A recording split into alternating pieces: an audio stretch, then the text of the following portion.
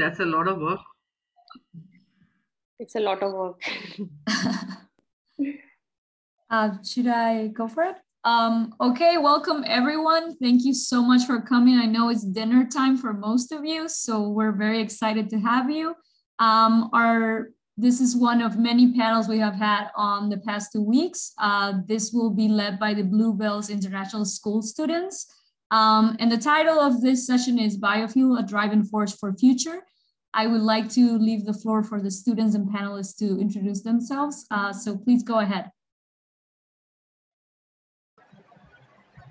Sure, ma'am. Thank you. Uh, my name is Ruchi Agarwal, and I had this opportunity to work with this wonderful group. Uh, they're going to soon present their uh, work to you. Ma'am Mitali. Yes, I'm Mitali Devnath. Yes, uh, same, same here. It was a pleasure working with my group and my team members and interacting with you all also. Yes, now children, you can introduce yourself.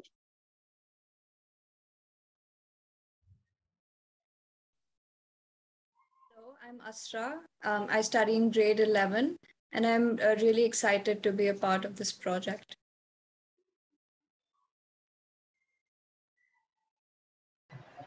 Gauri.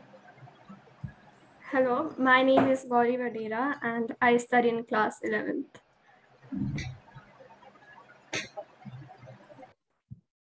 Hello, uh, my name is Pranshul Gupta. I study in uh, ninth grade and it has been highly informative to be a part of the research for this project.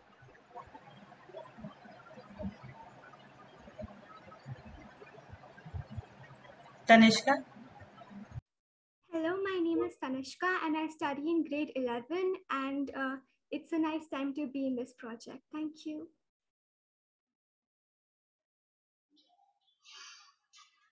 Hello everyone, I'm Yamya and I study in grade 9 and I'm really glad to meet you all here today. Hello to everyone present here. My name is Sridatri Bhattacharya and I study in class 11 and I had a wonderful time spent. Uh, I had a wonderful time. Uh, you know, I had a wonderful time working in this project. So. Uh, hello everyone, uh, my name is Maahir Aggarwal and I'm in class 9 and I was really glad to be given this opportunity to be a part of this uh, presentation and I hope uh, in the future we can do more projects like this. greetings to all. I am Sandeep Prinja. Uh, I study in grade 9. Uh, I'm really grateful to be a part of this project. Uh, I am really grateful that I'm surrounded with such helpful teachers and such cooperative teammates. Thank you. Um, hello, my name is Dia and uh, I'm from uh, grade 9th and I had a lot of fun working on the project. My name is I'm from grade 9. I'm glad to be a part of this project.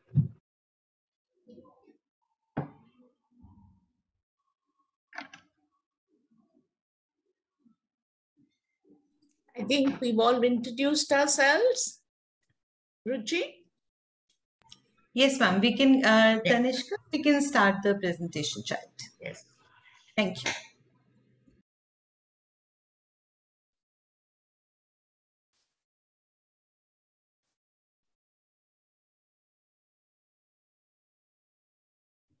Is my screen visible for everyone? Yes, it is. Start.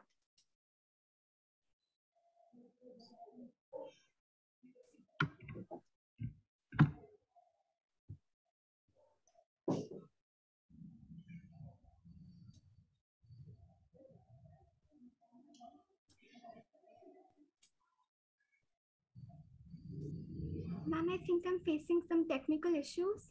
So if someone else can share in my place, I think maybe Maahir can share.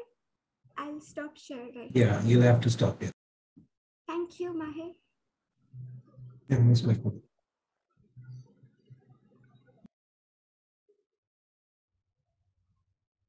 Uh, my screen is visible to all?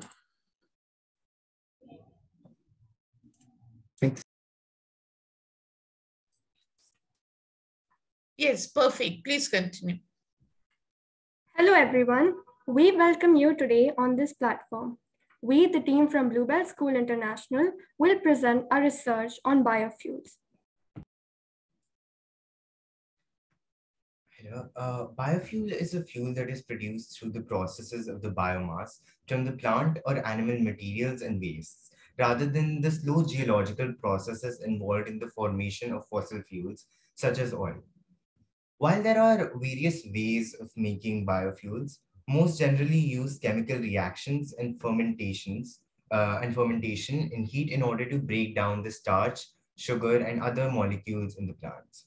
This process is then used as a means of uh, means of preparing biofuels. Uh, next slide, please.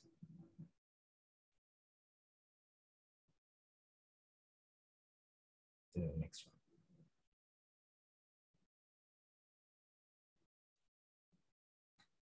Uh, the next slide, please. talking about the importance of biofuels, there are important, uh, they are important as they can replace fossil fuels. As a society taking steps towards sustainability, we must reduce the usage of non-eco-friendly fossil fuels. This biomass-made energy is a source for heat, electricity, as well as transportation fuel. On the basis of their sources from the biomass, the biofuels can be categorized into two generations. The first generation of biofuels are produced mainly from the sources that are edible. For example, corn and sugarcane. Biodiesel and bioethanol also fall under this category. For example, biodiesel is prepared from a variety of edible oil resources, such as soybeans, sunflower seeds, rape seeds, coconuts, and peanuts. Thank you. Ethanol. Ethanol is basically a grain alcohol that can be blended with gasoline and used in motor vehicles. This fuel is mainly produced by sugarcane and corn, whereas bioethanol is a form of ethanol made through an eco-friendlier process. It is a renewable source of energy because it is a biomass made from organic material. It is biodegradable and thus less, far less, far less toxic. It can be formed by a simple process in which corn is used as a feedstock for yeast, and yeast uses anaerobic form of respiration, where instead of converting sugars to energy and carbon dioxide, it is converted to carbon dioxide and bioethanol. It can also be produced through fermentation under controlled conditions. Biogas. Biogas is a mixture of gases primarily consisting of methane and carbon dioxide which are produced from raw materials such as agricultural waste. It is an environment-friendly, renewable source of energy. It is produced in a process named anaerobic digestion, where the organic matter such as food, animal, and plant waste is broken down by microorganisms in the absence of oxygen. Also, methane is a combustible gas and is used for cooking. It can also be harmful to the environment as high levels of methane can reduce the amount of oxygen in air. In this case, biogas converts the harmful methane gas produced during decomposition into less harmful carbon dioxide gas. Currently, there are 56 operational biogas plants in India in the three states of Maharashtra, Kerala, and Karnataka. India's production of biogas is quite small, but a village in the state of Gujarat in India for the past 15 years is India's largest biogas producer. Biofuel in different countries. So biofuel biofuel has been uh, has been produced um, in different countries on a very large scale, and now we will talk about all of those countries one by one. So first, uh, first I'm Maahir Aggarwal will be speaking for biofuel in India. So the Indian government has recognized the capacity of indigenous feedstock production for this fuel production. In the India has introduced policies which are centered around which are centered around increasing the production of bioethanol using sugar-containing materials like sugar beet, sweet sorghum, etc., and starch-containing materials like corn, and damaged food grain that are unfit for human consumption. Recognizing the lack of capital in this sector, the government has mobilized the viability funding gap scheme worth 5,000 crore for second generation bioethanol refineries. India also targets a 20% increase in biofuel production till 2023 to 2024. Through various domestic and international initiatives in the biofuels industries in the last few years, India has reiterated its inclination to explore biosolutions. Biofuel in France. France produces biofuel in different forms. In the European Union, France is one of the largest producer of bioethanol. The production of bioethanol from sugar beet has been going on in France since many years. It has become a traditional industry. The next form is ETBE, which is ethyl tertiary butyl ether. It is obtained from sugar beet, wheat, and subproducts of starch industry. The next form is RME, which is rapeseed methyl esters. Methyl esters are produced mainly from rapeseed, and France is one of the biggest rapeseed producer in Europe. Vegetable oil or what is derived such as esters can be directly used in diesel. Up to 5% of vegetable oil is blended in diesel fuel, but now it has increased to 7%. Every other diesel car driver in France uses a fuel that contains this biocomponent. Until 2004, it was not allowed to blend the alcohol bioethanol directly on conventional fuels. It is first converted into ETBE before it's blended in gasoline. As we can see, France's biofuel production depends upon the first generation sources of biofuel. Biofuel in USA. USA is the largest producer of ethanol and biodiesel. Now, that is because USA is the largest producer of corn, followed by China, Brazil, etc., which is the primary ingredient required for creating ethanol as well as biodiesel. About 90 million acres of American land has been devoted towards the corn plantation. Furthermore, in 2020, USA had produced 346 million metric tons of corn, which is a huge amount, and it also makes it the largest exporter of corn in the world. Also, USA is right now thinking of developing cellulose biofuel and biofuel from algae. But both of these processes require extra steps which lead to more energy being utilized in comparison to what we get. Now, what I mean by cellulose biofuel is that different kinds of grass which can grow quickly are used for creating biofuel, but still it is not commercially viable. Talking about this process, algae can actually multiply very fast and that is really beneficial for the production of biofuel. However, extra steps like requiring a lot of However, extra steps like collecting algae from the different water bodies and also removing those impurities, it requires a lot of energy and scientists are still finding a way to make biofuel from algae more efficient. Biofuel in Japan. Japan sources more than 90% of its ETBE from a single plant in Texas, which converts about 500 million liters of Brazilian sugarcane-based ethanol every year and a large amount from US corn-based ethanol too. Importing in such large quantities is not economically viable as Japan moves towards long-term biofuel goals. Japan, pref uh, Japan prefers ETBE for blending in gasoline as it is more effective than bioethanol in reducing emissions and has low energy consumption. Japan is also expanding production of biodiesel from sources like algae and palm oil waste to reduce dependence of bioethanol imports from Brazil. Drawbacks of producing first generation biofuels. Almost burden on agricultural resources. Almost half of the corn production grown in USA is used for making ethanol, which is forcing farmers to take up more land and fresh water.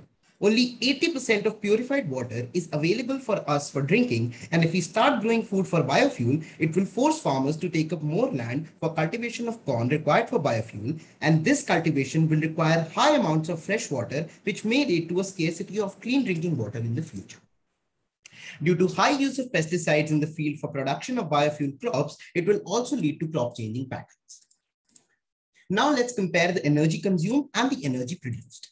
So corn is only able to absorb 0.25% of sunlight and 6600 calories are used for turning corn into biofuel, while in return, we only get 5,130 calories, which leads to a 22.3% energy loss. Almost 5 to 10% of the energy utilized by USA every year is fulfilled by biofuel like ethanol and biodiesel. Now, this does not only lead to the usage of much food and extreme amounts of energy, but also the increasing demand of biofuel due to the exhausting fossil fuels has also caused an increase in prices for corn, which makes it really difficult for the citizens to buy corn. What are the consequences that affect the environment? Let's discuss. Every year, 10 million tons of food is wasted in France, and within that, a huge amount of rapeseed, sugar beet, and wheat crops are wasted in order to produce biofuel. Water pollution is a serious problem due to the chemical and industrial effluents that are used in the production of first generation biofuel. Shifting agriculture practices to incorporate more biofuel crops will affect the water quantity as well as the water quality. Converting the woodlands into wheat or rapeseed fields may lead to soil erosion and in the European Union itself, the soil erosion affects about 7.2% of the total agricultural land and leads to 1.25 billion euro loss in food crops productivity. Energy crops such as water hyacinth can cover and choke lakes and provide a breeding ground for mosquitoes due to their large leaves which causes water stagnation. Let's understand the competition between food and energy crops. It has been estimated that in the future, France will face a competition between food and energy crops, and that this will occur even before all the fallow areas are required. As it is economically attractive, more farmers will grow biocrops, which will lead to monoculture. Growing of the same crops on the same piece of land for a longer period of time, it will reduce the nutrients in the soil. Biofuel production also affects the food supply because farmers are being encouraged to grow fuel crops.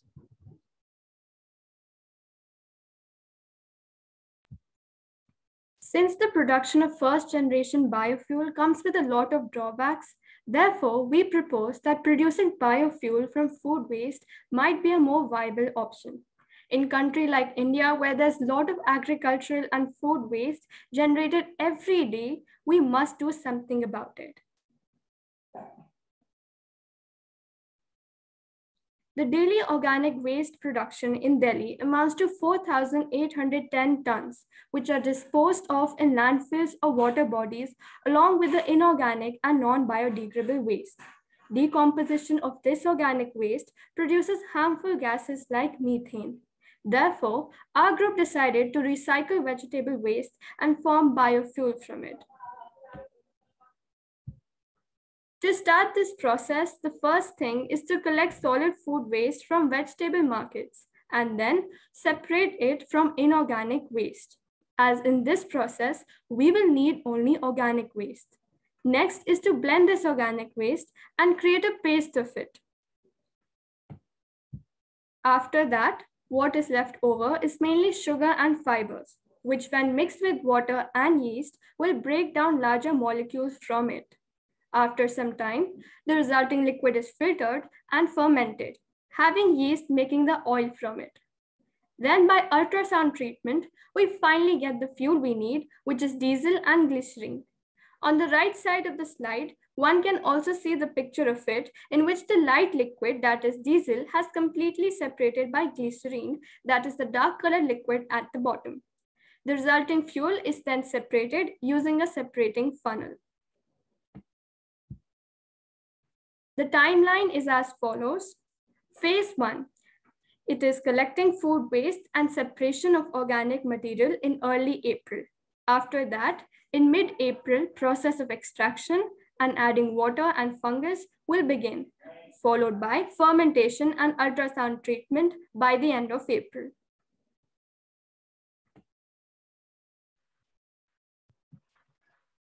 As it has been previously mentioned, the aim of this project is to steer ourselves towards a more self-sufficient lifestyle.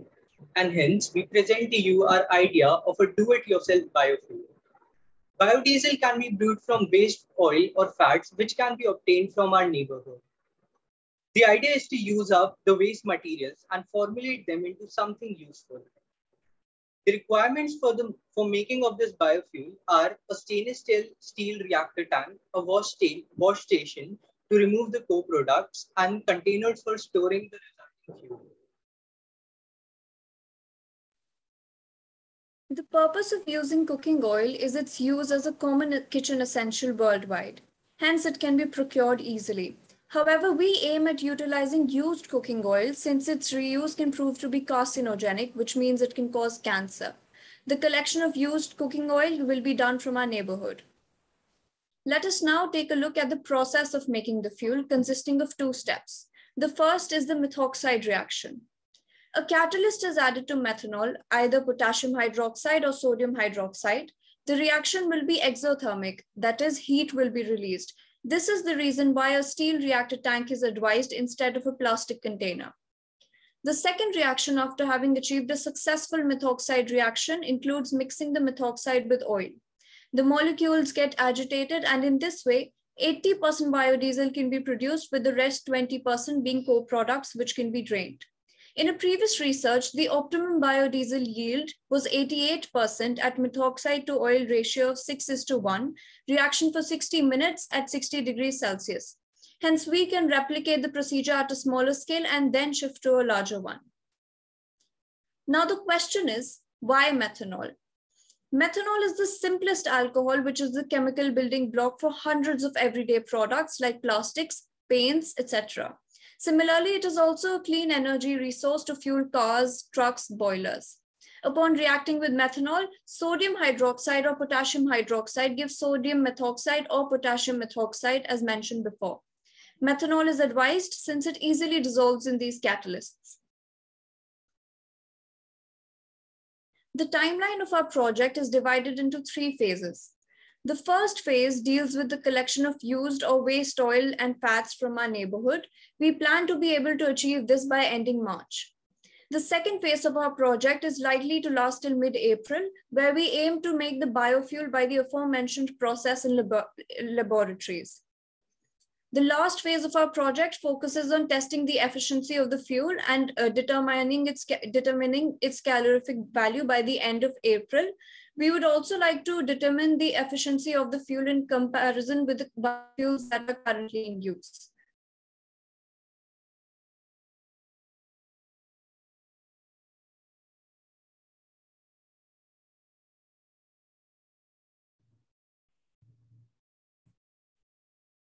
In society, if alternatives of biofuels are blended, the plight of the generations to come will be mended.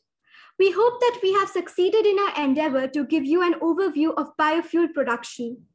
We must understand that since fossil fuels are depleting, we have no other choice apart from using alternate fuels, and we believe that biofuels are definitely a promising avenue for the same.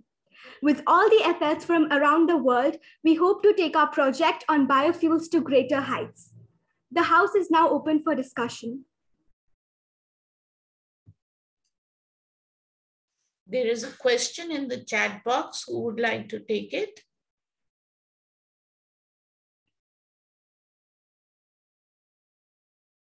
Have you all read the question in the chat box, everyone?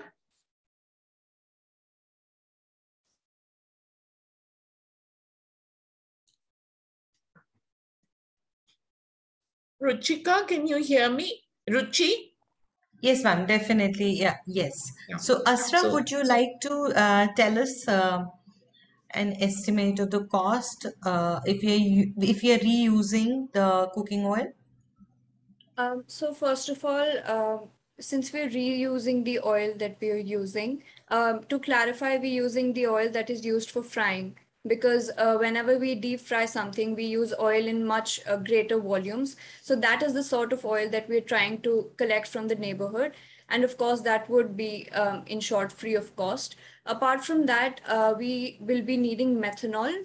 Methanol is a chemical that is readily available um, at chemical stores. And um, we need large containers which uh, might um, which might not exactly pose as a problem but yes we still need to acquire them so i don't think it's much expensive but i think an estimate would be around um, two or three thousand i believe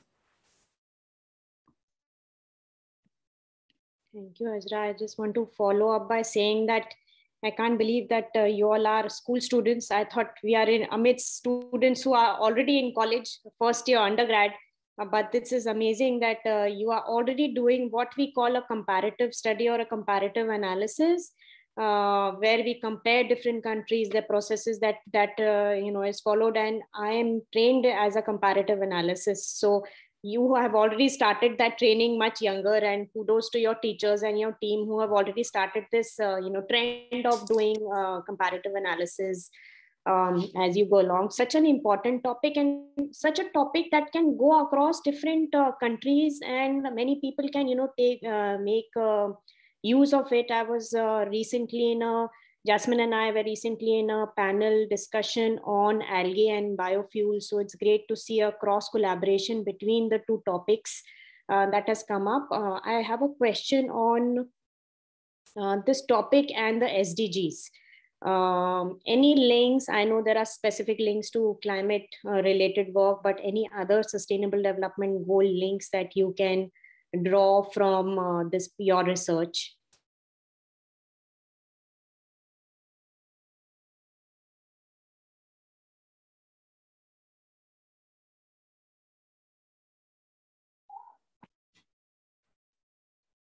Yeah, any one of you can take the question.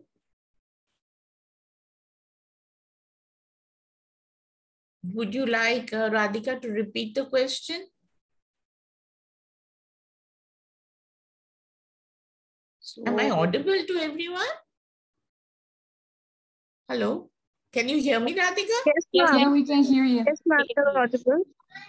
Yeah. yeah. So my question is, how is this biofuel related to the sustainable development goals? And goals. any idea on uh, which goals are we targeting when we uh, do this research and a practical application of uh, biofuels? I think uh, this particular project is aiming for uh, sustainable development goal number 12, responsible production and consumption. Great. And SDG 7 also, clean and green energy. Mm-hmm. Great. Uh, Ma'am, I would also like to point out that uh, I think one of there's one question from Jasmine. Sorry, please go ahead.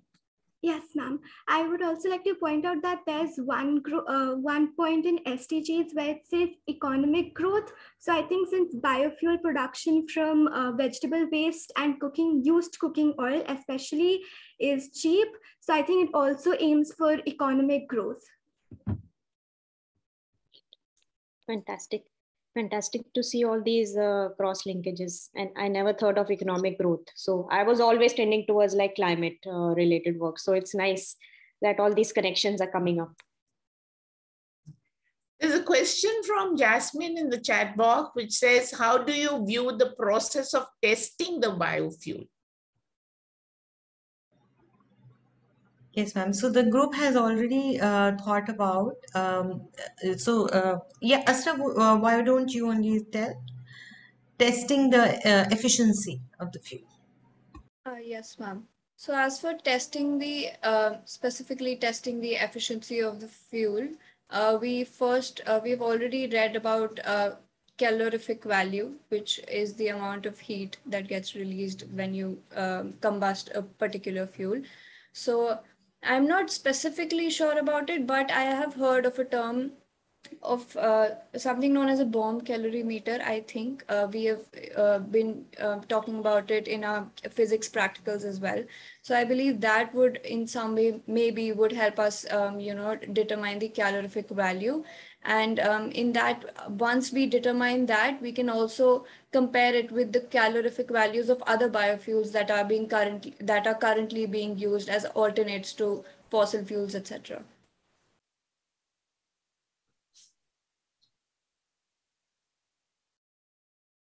You all can ask for more questions. You have more audience. We have a, couple of people joining from uh, Telangana, probably teachers. Thank you for joining, Srinivas. Any questions from your end? Jasmine, any more questions?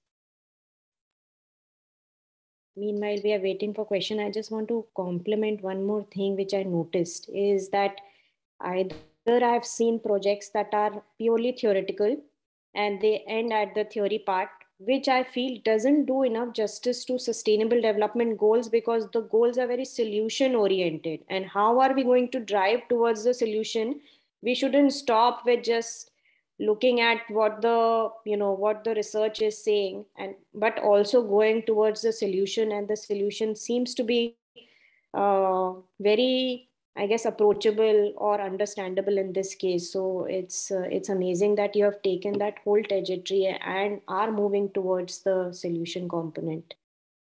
I really value that part are there any plans once you reach to the like later, like the last phase of the project? Are there any plans to study what you came up with and maybe having like a little, uh, not on a publishing level, but sharing your results with everyone to be able to scale that up if if any other communities want to do the same?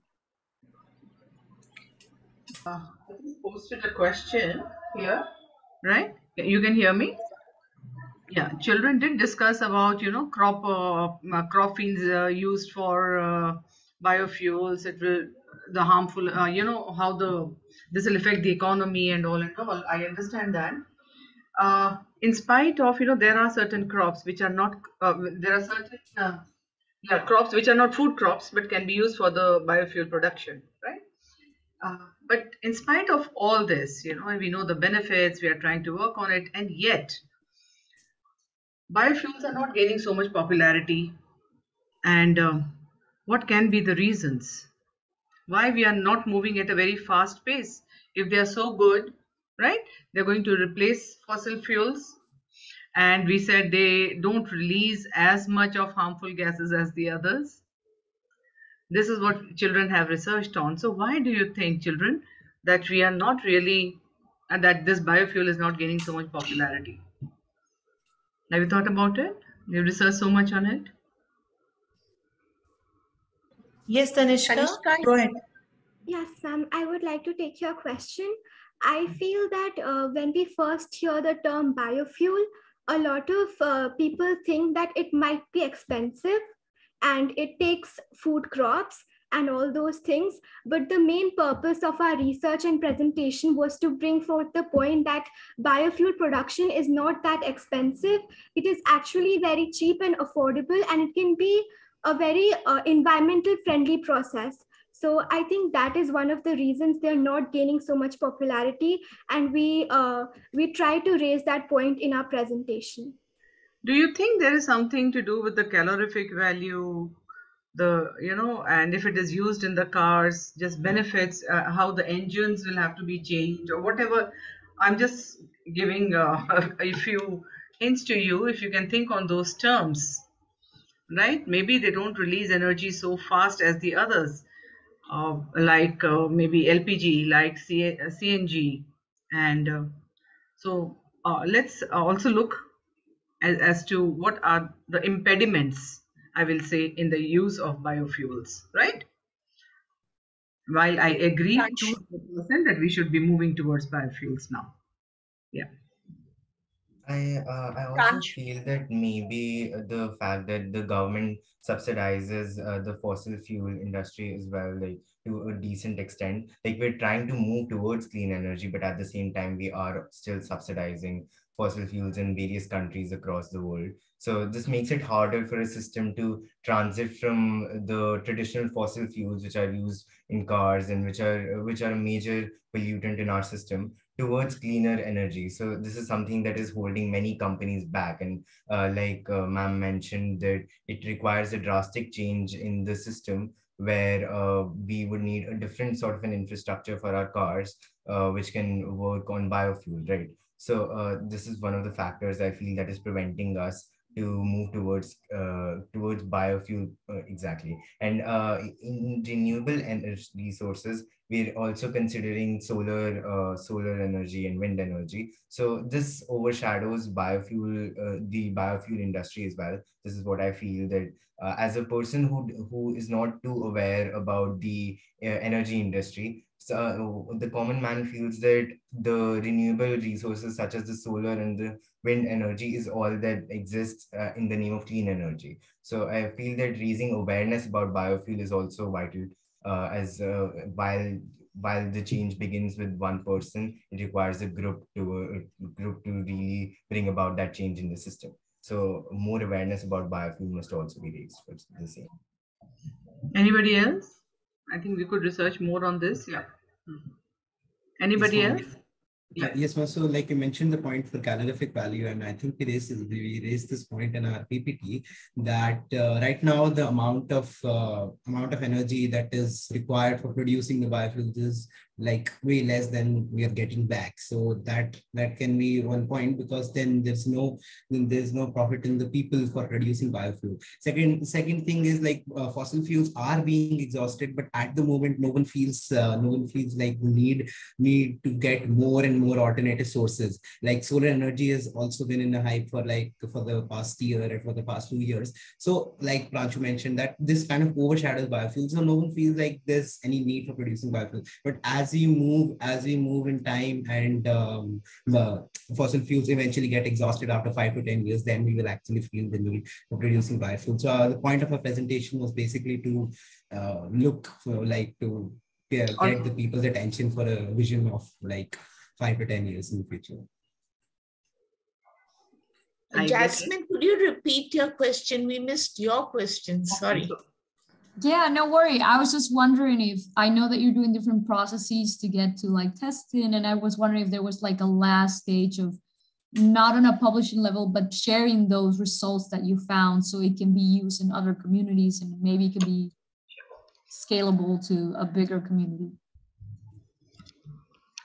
So, children, do you want to publish a paper on this?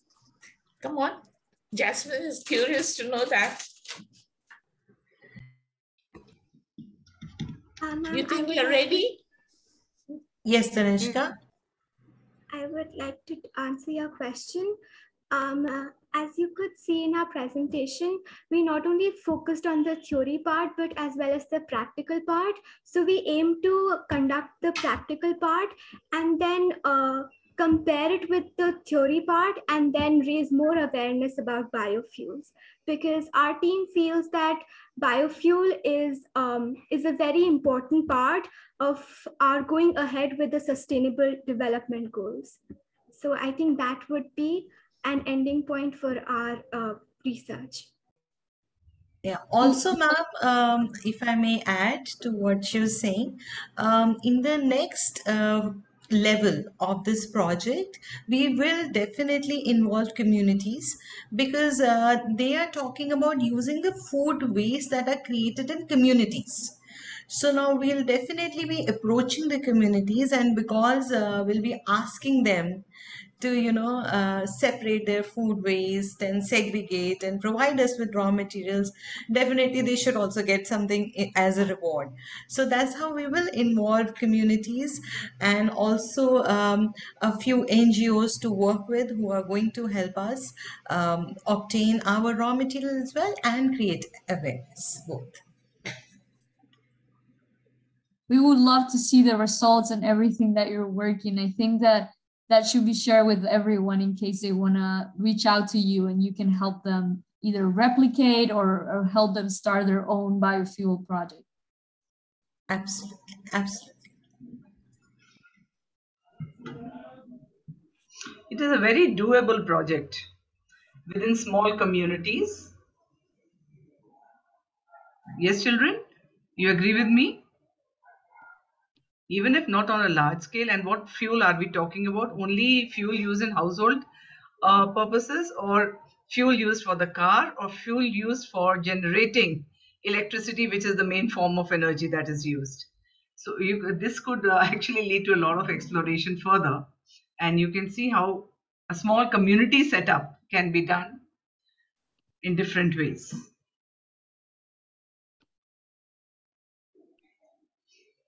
So, what are the next steps now? Uh, where are things going? How is the practical application? What are you thinking? And what are some of the challenges that will come your way? And you're very apprehensive that, okay, so what? If this happens, then, you know, what is going to happen to our project? So, anything that you are anticipating that can go wrong or right?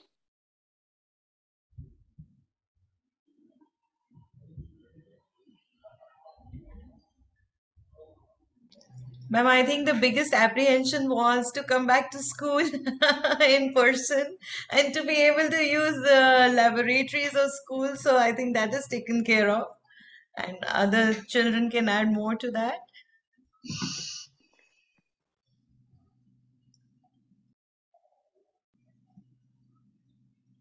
They can They are very optimistic. They can Yeah. always, they have never have apprehensions. They're very Yeah, yeah. positive. Excellent. Excellent. So first hurdle is done. You are back in school. Uh, I just wanted to suggest something that I've written in the chat. Uh, sorry, I pasted the wrong thing. But this ICSD, International Conference for Sustainable Development, it's an international conference, and maybe you can organize a panel uh, with some New Jersey schools who are focusing on New York schools focusing on biofuels. Have a panel, maybe work with some NGOs It is an international conference, so there'll be many people from various places, and it's in September. It's a free conference uh, for everyone to attend. So I would suggest to uh, attend the conference. And earlier on, we used to think that, oh, students, you know, this is good for college students. But now, after seeing your presentation and after seeing our, how the youth conference is going, I think you are more than ready to attend the conference participate in all the sessions there given the timing and uh, register and share your ideas because if you have reached this level i'm sure there will be other schools and other students who can benefit from your research at least the journey. They might look at other avenues and they might look at other processes and it might be helpful to have some sort of a dialogue going uh, so that's some and again we no one has to it used to be in at columbia university this conference in September during UN General Assembly, and many of the UN delegates used to attend it. Now they have made it uh, online, which is the best part, and it it is uh, it's a global conference, so it will work with the India time as well. So I think it will be another for me as a researcher. It always helps if I discuss the question and discuss my approaches with other researchers so that they can give me feedback and say, hey, well, what about this idea? What about that? So it always helps me to proceed on to next things that are not really thought of. So this might be that conference where you can get some more ideas uh, as we go along. And when you have your application or abstract sent definitely let me know so that i can share it with some school districts that i know who will be eager to participate uh, as an audience in your in your panel. Sure ma'am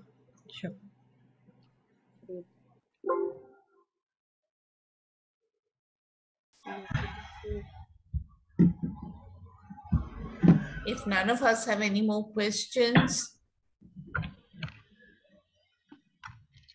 any questions? There's Sudha Rani with us.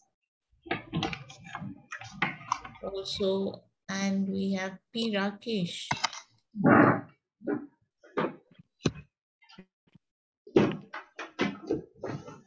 So should we all sign off now? What do you say, Radhika?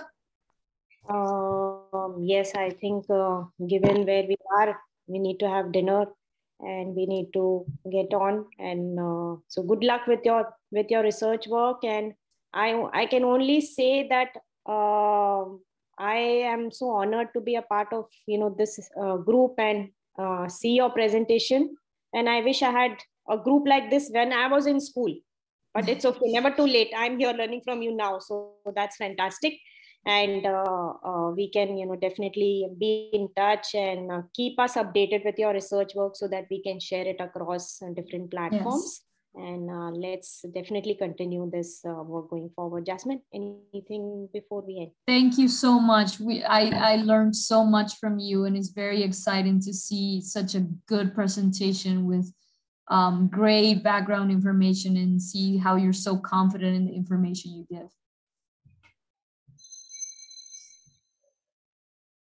Thank you. Thank you. Thank you. Thank, Thank you. you. Thank